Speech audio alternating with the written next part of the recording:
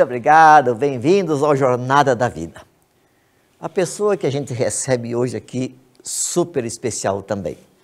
Já foi presidente doutrinário da CEITUNE do Brasil, diretor vice-presidente da CEITUNE do Brasil, presidente da Associação dos Jovens, ocupou várias superintendências, autor de livros, e olha quantos, hein?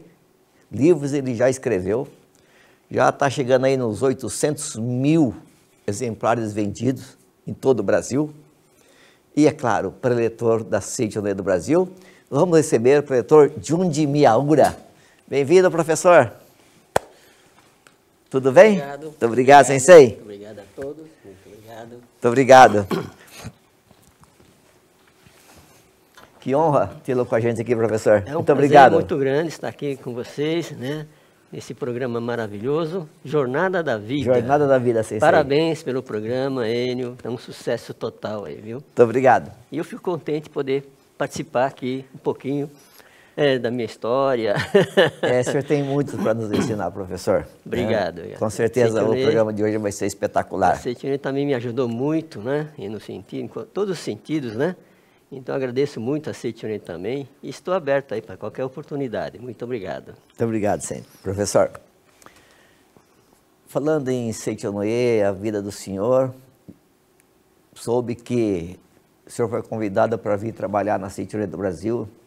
Na época o senhor trabalhava numa multinacional, só que o que foi oferecido na época em termos de salário, ele era bem, bem menor do que o senhor ganhava, mas mesmo assim o senhor deixou o trabalho na multinacional para vir se dedicar para a felicidade direta das pessoas através da dedicação ao movimento de iluminação da humanidade. E a minha curiosidade, sensei, é o que o fez sair de uma empresa ganhando bem para vir para uma outra onde o salário seria aí menos da metade, né? E o senhor nem tutubiou, conte comigo e veio para cá. É, é, a Seitonei me proporcionou muitas graças né, durante a vida toda e desde criança eu venho frequentando a Associação das Crianças, no Kodomokai, né? E vim tendo aquela formação de que o homem é filho de Deus. E sempre tive assim um apoio muito grande da família também. Fui bem na escola, eh, na faculdade também. Consegui passar tudo. É, ficavam algumas matérias ali, mas tudo bem, né? Faz parte, né? E me formei graças à a, a, do- doutrina da Seitonê, né? Você, é você tem capacidade infinita, você é filho de Deus, né? Você consegue. E eu vim, assim, eh, aplicando a doutrina da Seichonoye. E eh, aí quando fui arrumar uma, uma esposa, né, uma namorada, tudo era muito tímido também, né? e- Mas graças a Seichonoye, graças à oração para encontrar metade da alma, né? Eu fiz não sei quantos anos isso. E não chovia na minha horta, né? Mas eh, um belo dia veio uma, uma pessoa assim maravilhosa, né? E nós nos casamos, né? Dentro da Seichonoye, dentro do, da cerimônia da Seichonoye, nós nos casamos. E depois, então, eh, logo em seguida, vieram os, os filhos, né? E aí aconteceu um... uma- Professor, desculpe interrompê-lo. É, o senhor era tímido, os japoneses de uma certa forma são tímidos, nós somos tímidos, né, professor? Sim, é verdade. É, para dizer para hoje esposa Laura, quer namorar comigo, foi fácil? Eu não sei como. ah, Acho que o anjinho que falou, não fui eu que falou, não. Ficou E- ameaçando um mês, mais ou É, menos. Não, além de, além de tímido, eu me considerava feio, né? Então, em japonês ainda, eu falei, nossa, acho que nunca vou me casar, né? Mas, graças a Seichonoye, encontrei a metade da aula, a alma é maravilhosa, né? E um relato que eu tenho, né, é do, da primeira filha, da primeira criança, que logo que nós casamos, ela se engravidou. E aí é, ela ficou com febre, é, apareceu um monte de feridas na, na, na, no seu corpo, né? E nós fomos então fazer exame de sangue. E a doutora, na época, estava fazendo o pré-natal, falou: olha, o seu sangue está com um nível muito alto do vírus da rubéola, né? E ela falou: nós temos que fazer o aborto é, imediatamente, porque no Brasil a legislação permite o aborto até os três meses de gestação. Mas eu era já é, líder de denominação e conheci a filosofia da Setionê, sei que a Setionoye é a favor da vida, né? E nós ficamos assim muito preocupados, muito chocados, casal jovem ainda, né, com esse problema todo. Aí nós fomos procurar um amigo, né, que por coincidência, hoje ele é o presidente doutrinário para a América Latina, né? Preditor da sede internacional Fumio Nishama. E ele fazia parte da mesma associação nossa, e eu fui falar com ele, falar, nós estamos com esse problema aqui, né? O que, que a gente pode fazer, né? E ele arrumou, então, um, uma, uma orientação pessoal com o presidente doutrinário da época, o saudoso professor Miyoshi Matsuda. Então, nós tivemos assim a, a grande oportunidade né, de ter uma orientação com o próprio professor Matsuda na época. E aí ele orientou né, que a, a vida, né, é, vida é eterna. E quando Deus manda um filho, isso é a vontade de Deus. E se você pensar realmente que é, o filho é perfeito, ele vai nascer perfeito. A orientação que ele deu foi assim, bem direta, né? Olha, essas crianças que estão gerando agora é filha de Deus. Ela é perfeita. No mundo da imagem verdadeira é perfeita. Então, vai nascer perfeito. Né? Com aquele jeito dele assim de, né? É, convicção mesmo, né? Aí, é, se, mas se você tiver, ele falou assim, mais, né? Mas se você tiver pensamento negativo, aí vai influenciar realmente na, na gestação. Então tem que fazer as práticas da Seichonoye, tá certo? E as três práticas é, é, seria então a meditação Shinsokan, né? A ver a imagem verdadeira da, do, da criança, ler os livros da, da Seichonoye e fazer a sutra sagrada para os antepassados, tá certo? E atos de amor ao próximo também. E então nós começamos a nós ah, fomos uma, uma, noite né, na casa dele, tudo, ele, ele, nos recebeu lá, porque ele era muito ocupado também, imagina, né, presidente doutrinário para a é. América Latina, ele era muito ocupado, ele nos atendeu à noite, e agradecemos bastante, e começamos a praticar, tá certo? Aí depois de nove meses né, de gestação, nós somos, trocamos de médico, inclusive, para não ter esse problema, né, de, de, ela ficar com essa vibração negativa, fomos no outro médico e falou, olha, nós estamos com esse problema, mas nós gostaríamos de ter a criança, tá certo? Nós acreditamos na vida que ela vai nascer perfeita. E aí então nós trocamos de médico tudo, e, mas de vez em quando vinha aquela, aquela pensamento, e se nascer com problema, né? Eu ia perguntar, isso, ia perguntar exatamente isso, porque a gente tem uma recomendação, né, né professor? Perfeito. Que a rubéola pode gerar uma série de problemas, né? E aí a gente já tem isso como informação. E aí vem o médico e fala, pode fazer né, o aborto. Mas aí vem a ciência e fala, a vida é eterna, a vida é perfeita, vai nascer perfeito. Como que fica a cabeça, professor? Ah, tem que ter muita, muita convicção, muita fé, né? E e como nós somos orientados, então, pelo professor Matsuda, nós falamos, não, vamos ter a criança, né? Do jeito que vier, nós vamos agradecer e vamos criar. E fazendo bastante oração, mas às vezes vinha aquela, aquele pensamento, e se nascer com um problema, né? A gente refutava essa ideia, falando, não, não, vai nascer perfeito, vai nascer perfeito, né? Sempre que desviava a mente, a gente voltava, né? Não, vai nascer perfeito, nascer perfeito. E aí, então, a gente conversava com a criança, né? A barriguinha da minha esposa começou a crescer, encostava a orelha lá e falava, como é que tá aí? Tudo bem? Eu fiz isso também, professor. Mas é, é, bacana, né? Eu conversava muito é com as fase bacana, muito interessante, né? E aí, então, a, criança esticava o pé, virava para lá, ficava assim na transversal, é. né? Então, falando, não, tá tudo bem, graças a Deus está desenvolvendo bem. Fizemos, então, ultrassom, tudo, e ela, a, a ginecologista mostrou ali na foto, falou, não, tá tudo perfeito, pode ficar tranquilo, né? E aí, depois de nove meses, fomos para o hospital, né? É, era um domingo, e a médica então fez todo o procedimento do parto lá. E a enfermeira saiu com a criança enrolada num lençol branco. E eu fui atrás, né?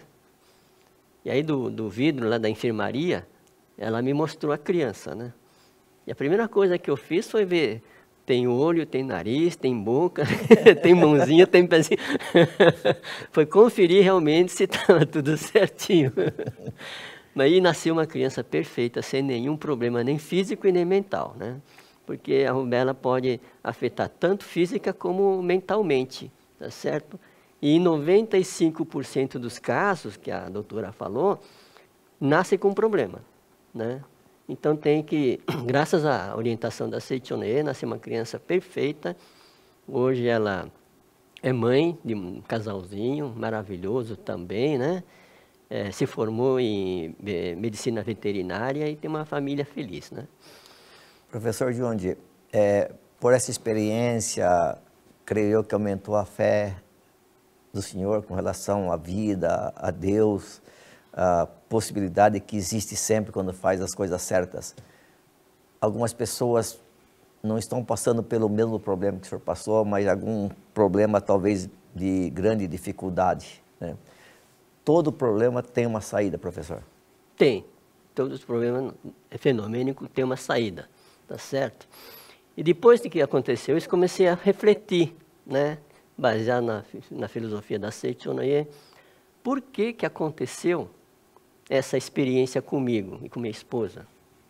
Primeiro é para a evolução espiritual. Nós estamos aqui vivendo nesse mundo para a evolução espiritual através dos vários acontecimentos, dificuldades que nós temos na vida, nós vamos superando e vamos evoluindo espiritualmente, né?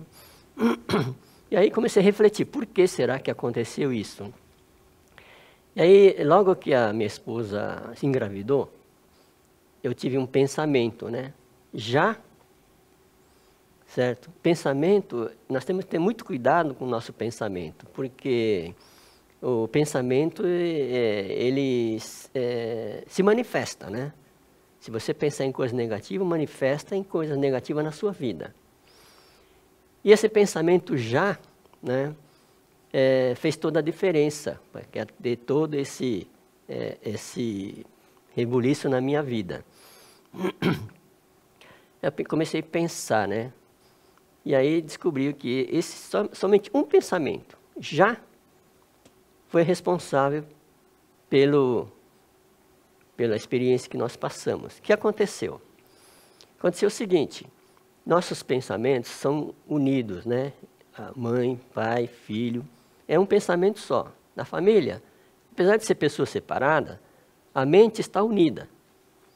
E esse pensamento que eu tive já, a criança recebeu como uma negação, né? uma rejeição minha que eu queria ficar mais tempo assim, em lua de mel, pelo menos um ano. Mas veio, veio rápido, né?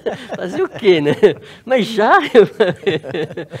então a criança recebeu esse pensamento como uma rejeição, que eu não queria ter o, a filha, não, a, criança, né? Então ela é, pensou assim, já que eles não me querem, eu vou sair daqui de qualquer jeito. E aí atrai, então, através do pensamento, uma doença que tem que fazer o aborto. Então é interessante esse negócio de pensamento, porque todo pensamento que nós temos, né, é importante na nossa, vai influenciar a nossa vida. Então é importante ter pensamento sempre positivo. Se você tem um pensamento negativo, você rebate e fala, não, isso não existe. É, é Deus é assim, é perfeito, vai dar tudo certinho. Então, sempre manter essa postura. Isso, isso é vale para tudo, professor. Por exemplo, não só com relação ao caso que o senhor teve, Mas outro tipo de doença, no lado financeiro, lado, sei lá, de trabalho, relacionamento, vale para tudo? Com certeza, vale para tudo, porque pensamento tá. é vida. O que você pensar, acontece. Se você pensa tá. em coisa negativa, vai acontecer coisa negativa. Se você pensar, eu estou doente, você vai ficar doente. Né? Apesar que na sua imagem verdadeira, você é perfeito. Né? Mas essa perfeição não vem no mundo fenomênico devido ao pensamento das pessoas. Então, cada pessoa tem um pensamento, né? Pensamentos, atitudes, e isso vai influenciando o destino da pessoa. Então, se você tem um destino ruim, não é culpa do governo, não é culpa do vizinho, não é culpa do seu chefe, né? não é culpa dos seus familiares. É culpa exclusivamente do seu pensamento que está negativo. Professor, financeiramente a pessoa não está bem, está com dívidas, é, a renda é pequena em relação ao o que ele necessita. E nessa hora, não sei, eu ganho pouco. Existe essa possibilidade muito grande das pessoas pensarem assim, né? Meu salário é pequeno, né? Mas não pode pensar assim, tem que, tem que ter sentimento de gratidão e agradecer. Eu, eu ganho o suficiente, por exemplo? Seria assim? É, o agradecimento é fundamental, tá certo? Primeira coisa que nós temos que ter em mente é agradecer ao que você tem agora. Se você não agradecer ao que você tem agora, não vem a prosperidade, tá certo? Então, é, muitas pessoas reclamam, ah, eu, eu tenho um carro velho, eu te, podia ter um carro melhor, né? E fica reclamando da vida. E pensamento negativo atrai coisas negativas, como eu falei, tá certo? Então, se ele agradecer, muito obrigado, carrinho, por, por, porque, por você me levar para tantos lugares, tudo, né?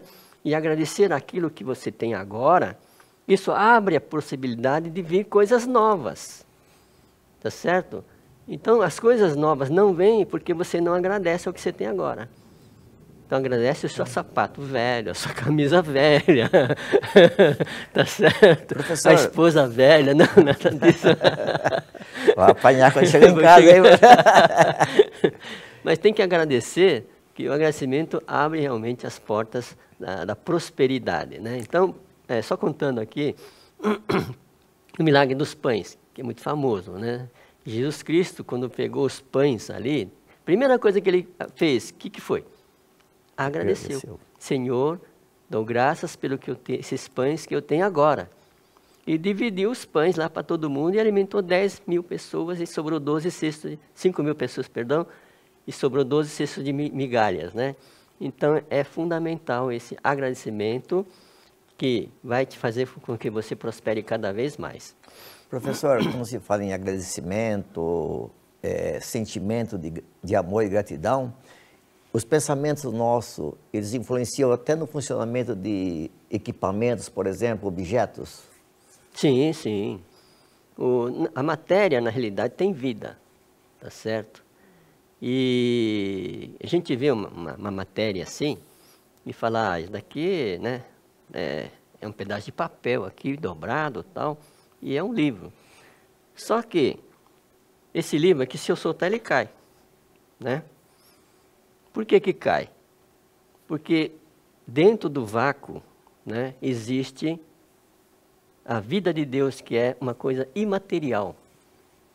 Então, se, se por exemplo, um trem está indo assim, no trilho, e tiver uma curva muito fechada, ele vai virar no trilho, mas só que a tendência dele é ir para a inércia.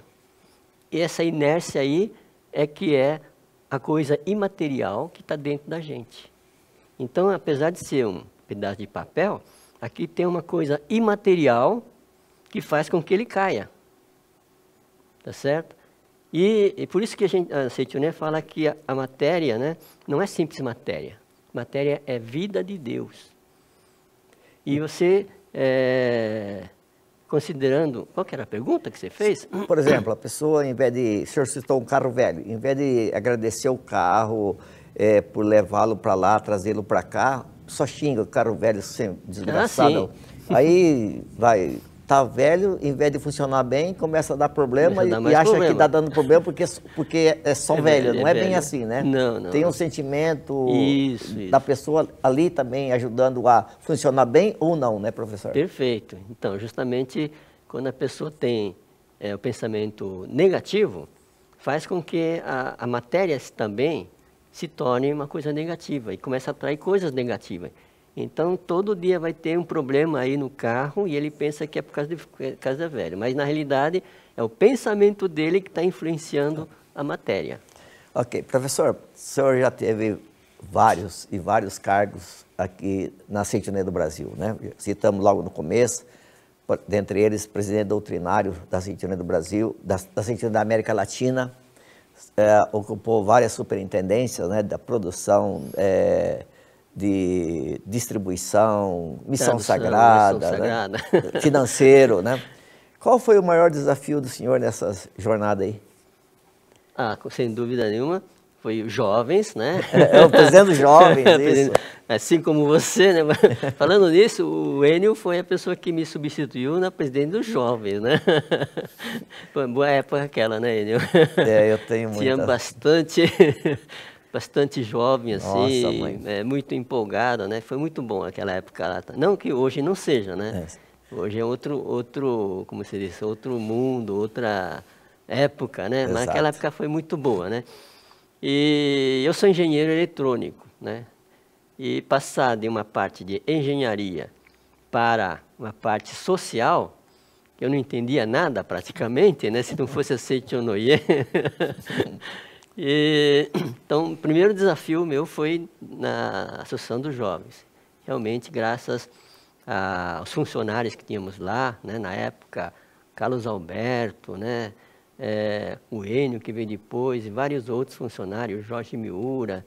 Então, todos esses funcionários é, eram pessoas assim, selecionadas por Deus. E fizeram, fizemos um grande trabalho lá, né? Então, isso facilitou, mas foi um grande desafio para mim. Parabéns, professor. Um outro tema que eu queria ver com o senhor, o senhor já escreveu dezenas de livros infantis. Né? Todo mundo da Siquioné sabe disso. E a minha curiosidade é, da onde vem a inspiração de escrever livro para criança? Não deve ser tão fácil assim, né? É. Da onde que, como que veio o primeiro livro, como que veio a ideia? E hoje, né, uma das vezes que eu estava olhando lá na distribuidora, já se passaram vários anos, tinha passado de 500 mil exemplares já divulgados. E não, não são poucos, não, meu Deus do céu. É, não, nunca fiz essa conta aí, né? É, são muitos, professor. É, mas se eu falou em desafio, antes de responder essa pergunta, é, o, o, no, durante esses anos que eu trabalhei na Seitonei, trabalhei nos jovens, né, depois para a produção, né? E outros. Então, todos esses, é, esses cargos foram um grande desafio para mim, evolução muito grande, né? E ser o presidente do doutrinário para a América Latina também foi um, um grande desafio para mim, tá certo? É, mas aprendi bastante dentro da Seite Onoye.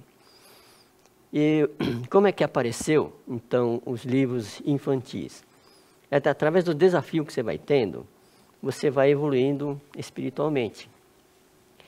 E quando eu saí da, dos jovens e entrei na produção, eu dediquei o máximo da minha, do meu conhecimento técnico, né, porque eu sou técnico, é, para melhorar a qualidade dos livros, das revistas, né? fazer colorido. Visitei mais ou menos 100 gráficas num ano. Terça e quinta, toda, toda terça e quinta a gente saía para visitar uma fábrica. Eu não conhecia impressão, né? Não, não sabia nem como é que era feita a impressão. E fui visitando e aprendendo. E colocando isso em prática é, dentro do, do, da produção para melhorar o produto, abaixar ah, o custo, né? E hoje o custo do, do livro da aceituna é, é, é, bom, né? Está é, tá, tá na média, né? Não é muito caro. Justamente por, por nosso, nosso trabalho ali da produção. E hoje continua esse trabalho lá com a, com a Keiko Shimomoto, tá certo? E o mestre fala assim, ó, quando você dedica a uma coisa de corpo e alma para melhorar, para ajudar outras pessoas, vem um talento que você não conhecia. Então é interessante, é o, igual o, os talentos, né? a parábola do talento, tá certo? A pessoa coloca todo o talento que ele tem ali para melhorar o dinheiro, aplicar o dinheiro, trabalhar com aquele dinheiro que ele tem, vem mais talento para ele. Aquele que tem, mais terá.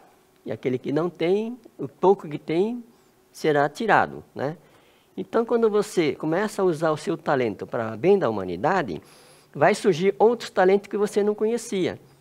E aí, então, foi justamente aparecer um talento que eu não conhecia, que era escrever histórias infantis, né? Tá certo? E a sua pergunta, de onde vem essa inspiração?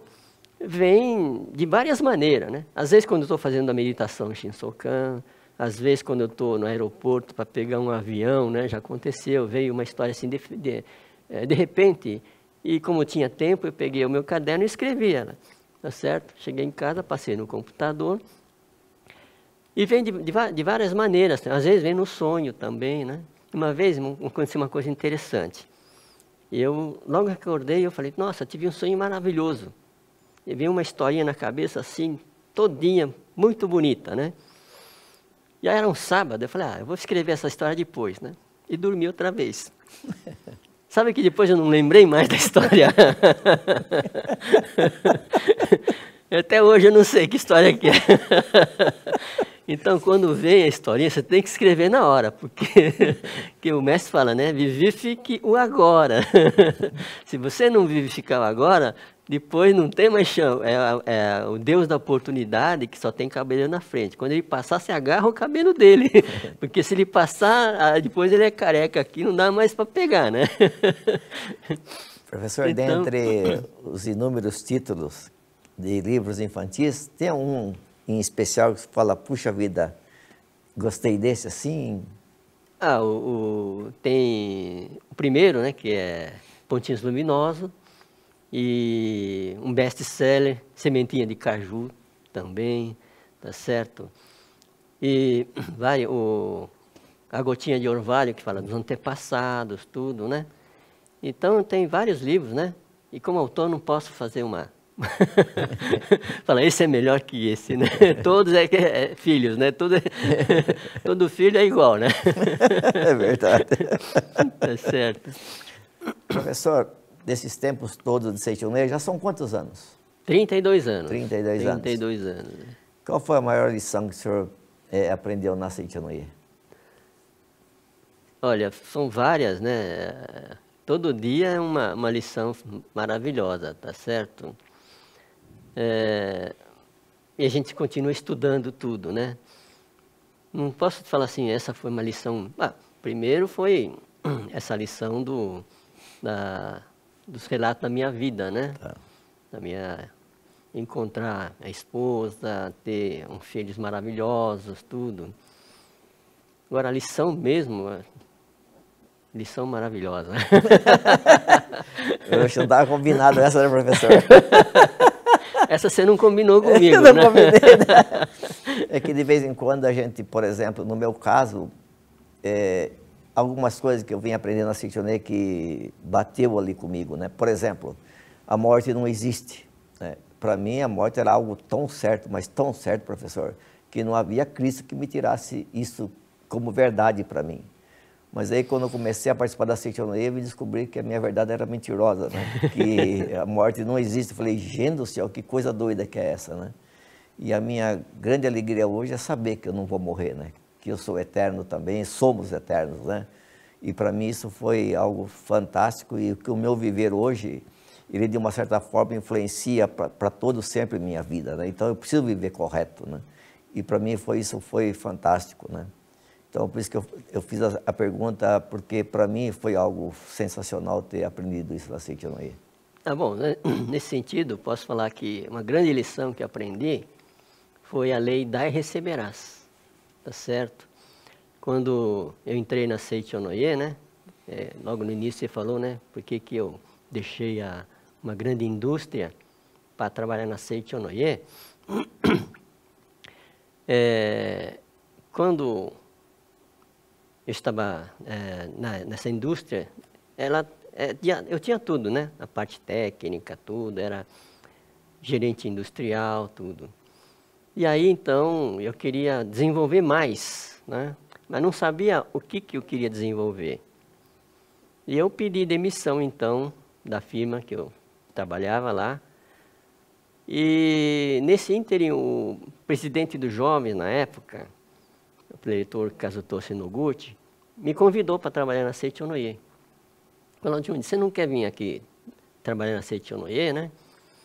E você já tem várias é, coisas na sua vida, já está bem estabilizado, né? Você tem dois carros, né? Tinha dois carros, duas filhas, tá certo? Tem é, uma esposa maravilhosa. Você não quer vir aqui dedicar um ano para Seichonoye? E eu falei, puxa vida, né? A proposta é boa, porque realmente é graças a Seichonoye que eu tenho tudo isso. Né? Sou feliz, sou saudável, estou prosperando bastante, né? Mas eu perguntei assim, mas por curiosidade, qual que é o salário? e aí ele falou, né, bom, como você vai entrar aqui no seu cargo de engenheiro, para nós não vale nada, né? Seu diploma também não dá, né? Então você vai entrar aqui como assistente é, do presidente. E você vai ganhar X. Aí eu falei, puxa vida, né? Eu fiz as contas, era um terço do salário que eu ganhava. Daí eu pensei bastante, falei, puxa vida, né? Não vai dar para fazer, colocar na ponta do lápis lá, né? Não dá para passar um mês. não é que a Cetinha paga mal. É que na, na, na, no cargo que eu ia ocupar, né, o salário é, era esse, é o salário do mercado mesmo, tá certo? Cetinha não paga nem mais nem menos. Mas é o salário do mercado que é assim. Aí eu consultei minha esposa, falei, olha, né, recebi um convite assim, para dedicar um ano para Seichonoye, né? E eu gostaria então de ajudar o jovem na, na época, né? É, a desenvolver, desenvolver a Seichonoye, tudo, fazer com que Seichonoye tenha jovens realmente maravilhosos que possam tocar isso tudo no futuro, né? E aí minha esposa, por incrível que pareça, falou, não, pode ir, não tem problema não. Aqui a gente, a gente segura as pontas, né? Duas filhas tal, né? Despesa para pagar, tudo. Aí eu entrei na Seichonoye, então, carteira assinada, tudo, no dia é, 26 de setembro de 1989, né? e comecei a trabalhar aqui na Seichonoye, ganhando um terço do que eu ganhava. E o que, que eu fiz? Como ia faltar dinheiro, eu peguei o dinheiro que eu tinha na poupança, dividi em 12 meses, tá certo? Para completar, então, né, o que eu, é, o salário que eu tinha anterior. Então, eu ganhava um terço aqui na, da Cetunê e tirava da poupança dois terços. Então, eu estava pagando para trabalhar, na realidade. Mas essa é, é, a lei, né? Dá e receberás tá certo? Ninguém assim é, pensa talvez nesses, nesses termos, né?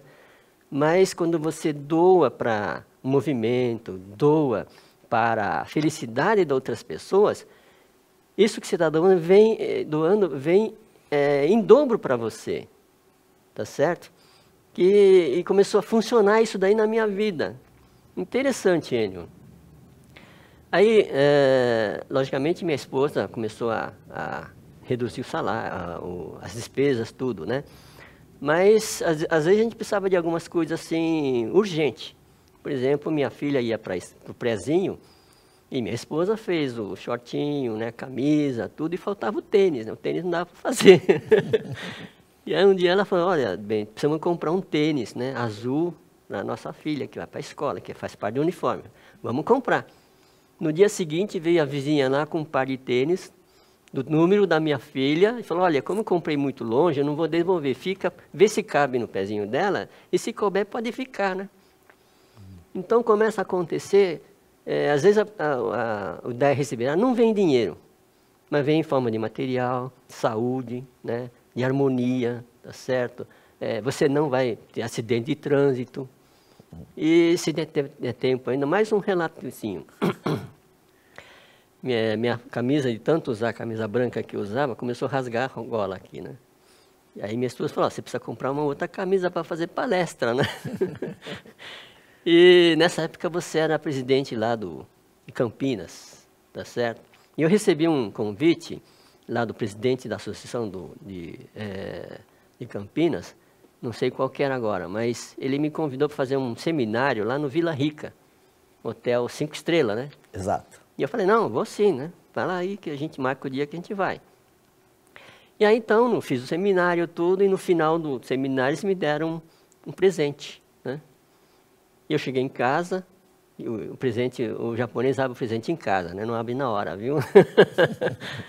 e aí cheguei em casa e abri o presente e era uma camisa do meu número, branca, do jeito que eu queria, né? Novinha. Então, é, as coisas começam a acontecer é, conforme a vontade de Deus. Por isso, quando você está dedicando a ser honesto, está dedicando ao seu trabalho, ao seu empreendimento, com a finalidade de ajudar outras pessoas com seu produto, com seu serviço, né? É, essas pessoas vão ficar contentes. E a alegria dela volta para você, em forma de lucro, ou de, de material, ou de harmonia, de saúde, né? de não ter problema no, no trânsito, com batida de carro, isso, aquilo, né? uma série de coisas. Então, talvez essa seja a minha, minha maior aprendizado que eu tive na Seite Onoie. Maravilhoso, professor. Muito obrigado, hein? Muito Ter obrigado. compartilhado com a gente a experiência, o seu conhecimento. Com certeza vai ajudar muitas pessoas. Muito obrigado. Eu que agradeço a oportunidade, né? Muito obrigado, Muito, muito Sensei. obrigado pelo programa. E tenha sucesso você também. Muito obrigado. Muito obrigado. Muito obrigado a todos vocês. Que Deus abençoe. Compartilhe com a gente as felicidades, as alegrias, as bênçãos. E não só isso. Compartilhe também o programa através do link que você tem aí na tua casa, né, através do YouTube. Compartilhe também aí as palestras da Seitonei que você encontra no canal do YouTube. Com certeza esse pequeno gesto se torna um grande gesto, porque você vai ajudar muitas pessoas. Até o próximo Jornada da Vida. Muitíssimo obrigado. Mais uma vez, obrigado, professor Juni. Muito, muito obrigado. obrigado. Muito obrigado pela oportunidade. Nos momentos em que nos sentimos perdidos ou angustiados, como se nada estivesse dando certo. Nesses momentos, é preciso lembrar da verdade e deixar que o amor e o perdão curem nossa alma. Porque a luz ainda existe além da tempestade. Seminário Geral da Cura Divina. Seminário presencial nas seguintes localidades: Academia de Minas Gerais, nos dias 2 e 3 de abril. Academia de Santa Fé, também nos dias 2 e 3 de abril. E Academia de Ibiúna, nos dias 11 e 12 de abril. Para mais informações, acesse o site www.sni.org.br ou entre em contato pelo e-mail seminários@sni.org.br ou WhatsApp DDD 11 50 14 22 17. Esperamos por você. Muito obrigado.